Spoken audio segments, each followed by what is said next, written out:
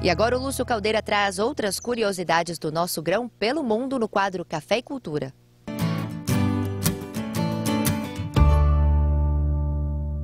Na série sobre os países produtores de café, hoje vamos falar da Tanzânia, um país africano famoso pela qualidade dos seus cafés. A Tanzânia localiza-se na África Oriental, fazendo divisa ao norte com Quênia e Uganda, ao noroeste com Ruanda, Burundi e a República Democrática do Congo, ao sudoeste com Zâmbia e ao sul com Malawi e Moçambique. É o quarto maior produtor de café da África, atrás de Etiópia, Uganda e Costa do Marfim.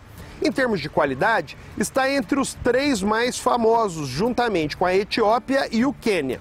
O café é beneficiado pelo método lavado, que produz um café de acidez suave, parecido com os cafés do Quênia.